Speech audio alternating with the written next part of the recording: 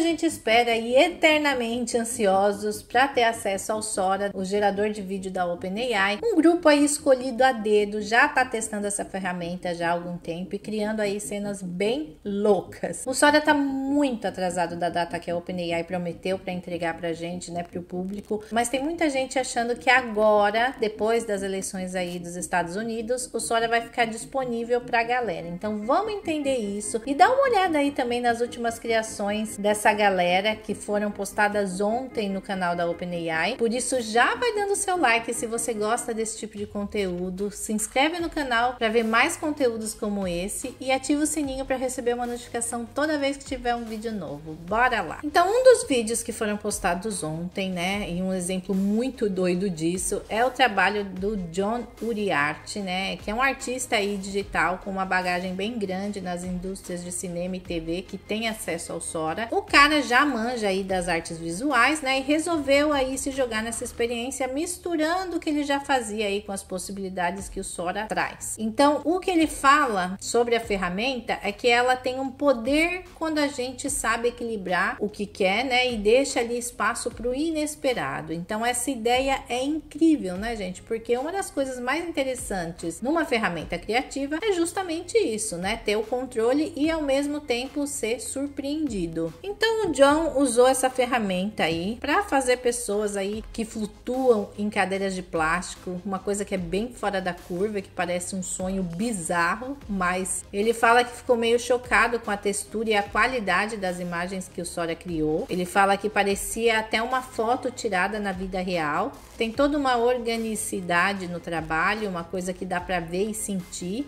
E essa é a capacidade do Sora de criar, de criar imagens tão reais, né? Que dá aquele toque surreal e até poético para o trabalho dele. Isso vem de uma tecnologia que basicamente está interpretando uma visão e materializando com uma precisão que antes parecia impossível. Agora, não é só sobre a parte técnica, mas sobre como Sora facilita o processo criativo. John conta que o desenvolvimento das ideias flui de um jeito quase natural, quase como se ele tivesse escrevendo, até mesmo sonhando ali acordado. Então, isso é uma coisa que mexe com a gente, porque uma das maiores dificuldades em qualquer processo criativo é quando a inspiração dá aquele tchauzinho, né? Aquela sumida, ou quando a gente tem que lidar com as ferramentas que travam mais do que ajudam. Então, com o Sora, parece que o John conseguiu achar um equilíbrio aí meio que perfeito entre manter a visão dele original e criar novas possibilidades conforme ele ia avançando. Então, imagina isso aplicado em outras áreas criativas, né? O tanto que pode transformar o processo e abrir novas portas. E outro projeto interessante também que a OpenAI postou ontem foi o da Liana Parbeza, que é uma design de moda e estamparia da Letônia que vive em Copenhague. Ela é fundadora do Caimira Lab, né? E explora o uso da IA para criar uns designs bem surreais, brincando com a linha entre o real e o digital. E a Liana criou um curta chamado Um Dia na Vida do Colega de Trabalho trabalho golfinho. Sim, isso aí é um golfinho tentando sobreviver ao estresse do excesso aí de tarefas, né? E o que já é engraçado só de imaginar. Mas o ponto interessante aqui é como ela usou o Sora para contar essa história de um jeito aí visual, carregado de metáforas sobre o trabalho, produtividade, o desejo de fuga que todo mundo sente aí no meio dessa loucura toda, né?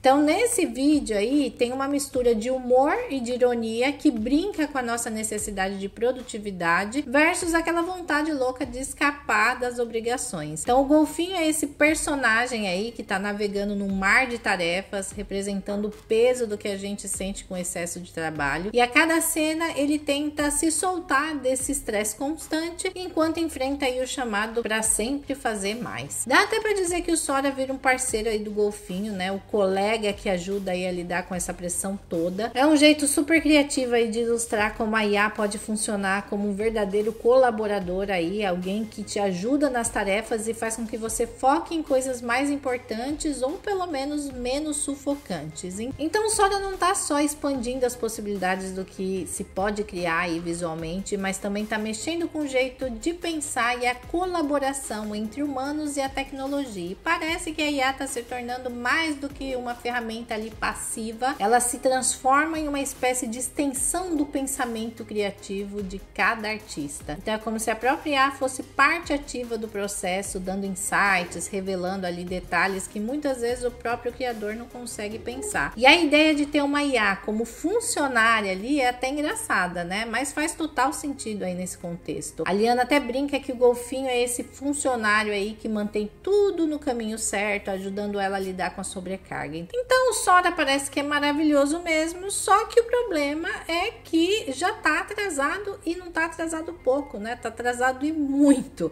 A OpenAI tinha prometido aí liberar essa maravilha em junho de 2024 e até agora nada, né? E é claro que essa demora tá deixando muita gente impaciente, né? E cheia de teorias do porquê disso tudo, desse atraso todo. Tem gente que até acha que a OpenAI segurou o lançamento de propósito para esperar aí as eleições presidenciais dos Estados Unidos passarem. Uma ideia que pensando bem, né, faz sentido, porque uma IA poderosa como Sora poderia aí levantar discussões bem polêmicas, principalmente sobre o impacto das inteligências artificiais no mercado de trabalho e na sociedade aí como um todo, ninguém quer correr o risco de virar alvo de debate político em plena eleição, né? Então pode ser que a OpenAI esteja dando aí um tempo estratégico, esperando a poeira das eleições baixar para evitar que o lançamento do Soria vire um assunto de campanha ou até alvo de críticas, ou também porque como as imagens criadas pelo Sora podem ter uma qualidade tão real que em contextos sensíveis poderia até ser usado para desinformação ou para criar cenários que nunca nunca existiram de verdade. A verdade é que seja como for, né? O atraso aí tá deixando a galera numa ansiedade sem fim e ao mesmo tempo criando uma expectativa gigantesca sobre o que que esse lançamento vai significar, né? Agora só resta esperar mesmo, né, para ver quando finalmente vão liberar, se o Sora vai realmente entregar tudo que ele está prometendo e revolucionar o jeito que a gente cria e consome arte. Vamos ficar de olho. Enquanto isso, a gente vai seguindo aqui na ansiedade, esperando a OpenAI liberar aí o Sora para o público, mas só de ver esses exemplos aí, já dá para ficar com aquele gostinho de como o futuro da criatividade promete ser diferente de tudo que a gente já viu, né?